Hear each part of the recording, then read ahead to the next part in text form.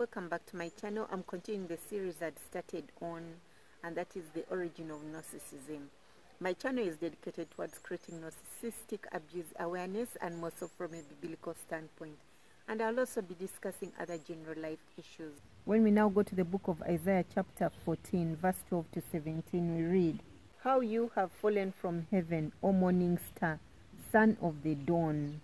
You have been cast down to the earth you who once laid low the nations, you said in your heart, I'll ascend to heaven. I will raise my throne above the stars of God. I'll sit enthroned on the mount of assembly, on the uttermost heights of the sacred mountain. I'll ascend above the tops of the clouds, and I'll make myself like the Most High. But you are, but you are brought down to the grave, O depths of the pit. Those who see you stare at you they ponder your fate. Is this the man who shook the earth and made kingdoms tremble? The man who made the world a desert? Who threw its cities and who would not let his captives go home? It brings more what became of the cherub who wanted the glory of God. We are now beginning to see the selfish nature. He said in his heart, it is about the issue of the heart. Don't be fooled by these philanthropists out there. Don't be fooled by these altruists out there. Just because someone uh, carries out an act of kindness does not make them good. The Bible says, if you who are evil give good gifts to your children, how much more basically will the Father do? Giving a good gift does not make you good, people. It is about your heart. We have so many wolves in sheep's clothing on the pulpit purporting themselves to be pastors. They lie, they lie incessantly. And the worst part is also the sheeplings and the goats in the church who are, who are, they are uploading them, you know. Narcissism does not does not thrive in a vacuum. It needs the enablers. It needs the flying monkeys, and we have flying monkeys in church. So so, they are so numerous. Those who will always side with the evil. We are living in the last days. The word says that a, a time will come when evil will be called good and good evil. We are living in those times. When you call out the pastor, you they rush to touch not the anointed. How, how is a, a wolf in sheep's cloth, clothing anointed? We have misinterpreted the word of God to the point that we've lost touch with the word. Church cannot recognize a manipulative person from from a good person. Bible still tells us in the last days the lies will be so enormous that we won't, we won't be able to differentiate them. And I believe this is it. Narcissism is. We are too quick to run over the victims while we are covering the abusers in the name of pray for them. You know, God, God deals with us differently. Take your time. Out of the abundance of the heart, the mouth speaks. He said in his heart, I will ascend church needs to get back to the word of God. Stop shielding abusers. You're, you're shielding wolves in sheep's clothing. God tells us to expose them. Church is telling us shush up about them. What happens when wolves in sheep's clothing are left among the sheep? The sheep gets devoured. God willed it. So if God willed it, why were you praying against it in the first place? Why did he tell you to pray? Touch not the anointed. A person who lives the word of God, a person who walks in the word of God is the anointed person, not the one who has been given a podium. You could be having a hundred thousand, fifty thousand congregants at your church. It doesn't make you anointed. You're just a great orator, full of worldly wisdom. When he said, I'll rise above the, the stars of God and dethrone God, he was talking about how he was going to dethrone God He's going to be godlike. Remember in his heart, he's saying all this. If you rise above God, you make yourself God. You become self. It is about you, me, myself, and I. He went against the greatest commandments God had put in place. I'll read from Matthew chapter 22, verse 36 to 40. Teacher, which is the greatest commandment in the law? Jesus replied, Love the Lord your God with all your heart and with all your soul and with all your mind. This is the first and greatest commandment. And the second is like it love your neighbor as you love yourself. 40.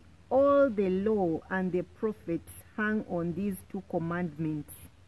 I did not come to take away the law or the prophets, rather, he came to fulfill it.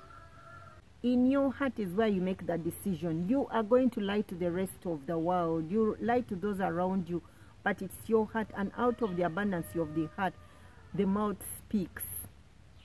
The mouth speaking also is not just a verbal, it is your actions. Words that don't align with your actions, that is manipulation. And at the heart of manipulation is deception.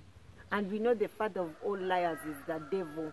That's why these pastors who go on, these preachers, bishops, you name it, reverends, I'll call them all the elders of the church. Those with those titles. They are beating up their wives, sodomizing them, they are lying, they are having numerous relationships. Some pastors, they don't need people to come into their church to become a congregation. No. Just look at the choir members. Almost all the children the choir members are having have been fathered by the pastor. For him, he's growing and multiplying from within, not from without. The women there are his concubines. They have children. Then you also hear they are sleeping with their grandchildren. They are now children or grandchildren, whatever the case may be now. You don't know what to call it, other than it's incestuous. This also goes further to explain when Timothy tells us that in the last days men will be lovers of themselves. The spirit of narcissism has risen in these last days. God is not God.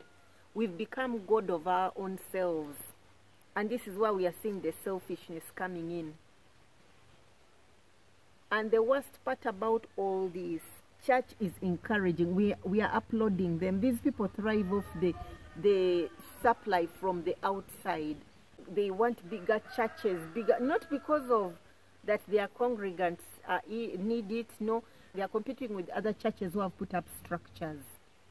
They are rushing to open up different uh, supposed social amenities just to compete, just to have their name out there people all that is vanity. Even those who keep saying it's the Spirit of God is no, there's a way they put it. When you listen to them speak, you know this is self. The self in them is speaking. It's not the Spirit of God. And even if you're delivering something that the Spirit of God told you to, and by the time you are delivering it, it is all about you. Whatever could have started by God, you are finishing it. That is troublesome the person who dethrones God is always self-centered and that's why the, the people who are self-centered have a mammon spirit in them. Money is at the helm of who they are because money moves. Money moves, moves for them. Money is equated to power.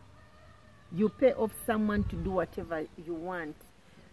You're finding corruption is at it's at its peakest this is all the spirit of self. We are in the last days. The devil is not sleeping.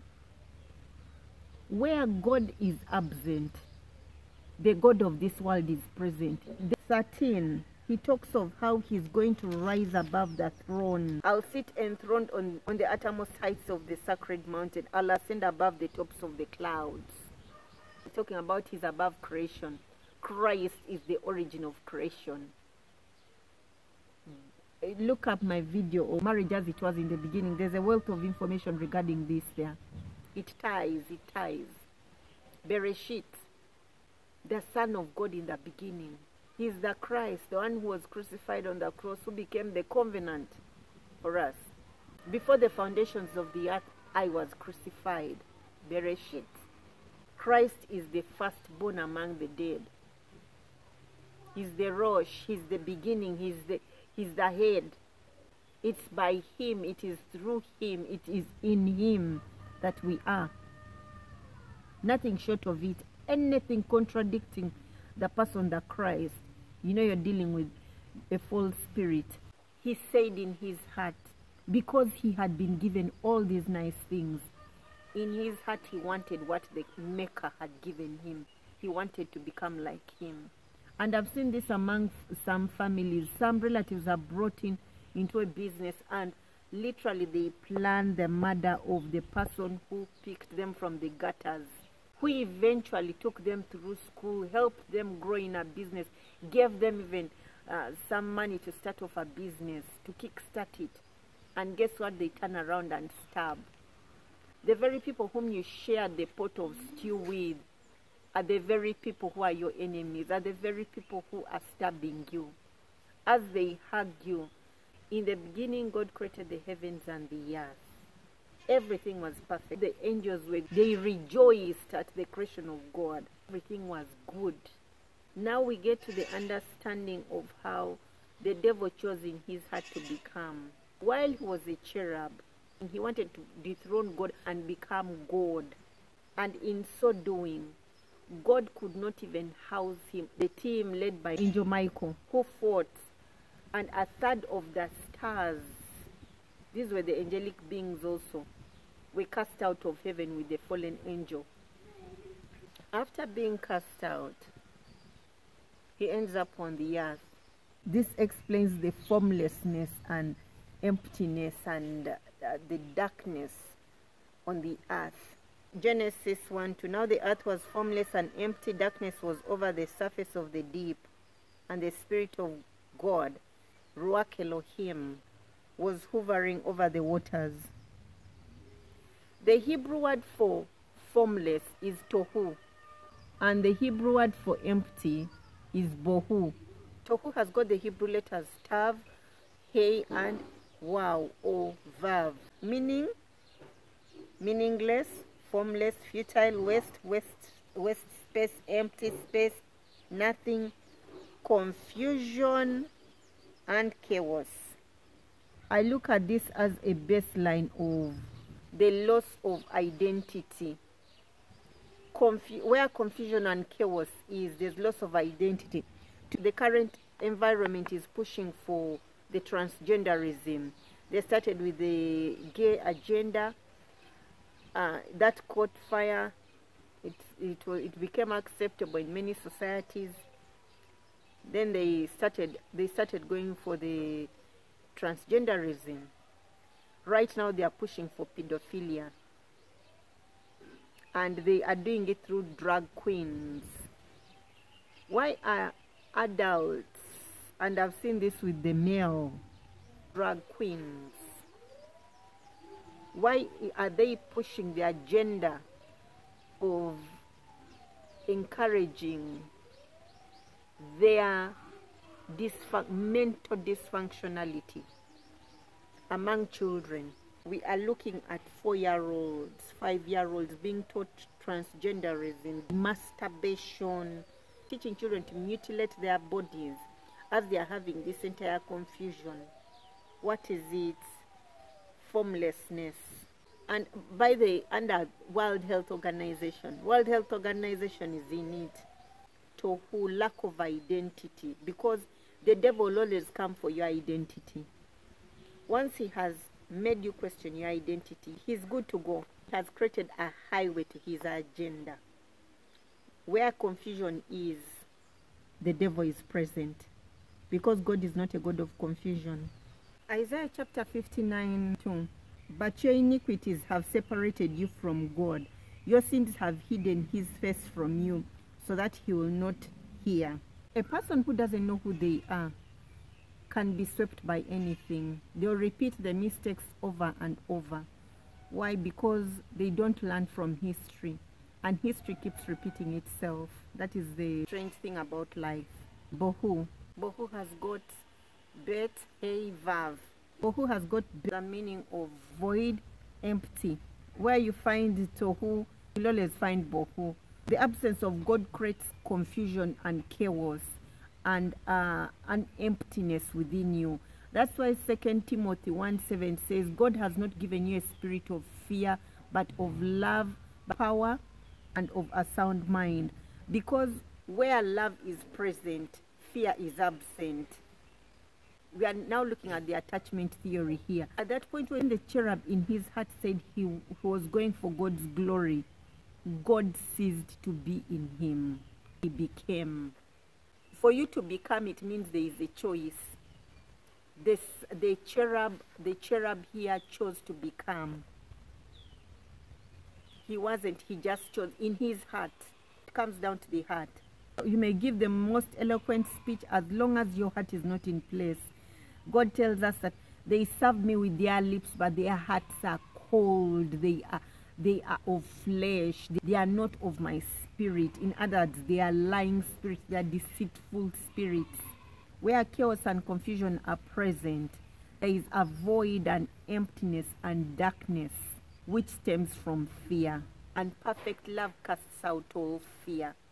That's why you can that's why you cannot serve two masters at a go. Our body system is either in the there's rest and digestion of the response system fight flight freeze or fawn the body cannot be in two two places at the same time in this in this regard. I'll continue this teaching in the next video. Thank you so much for watching. Blessings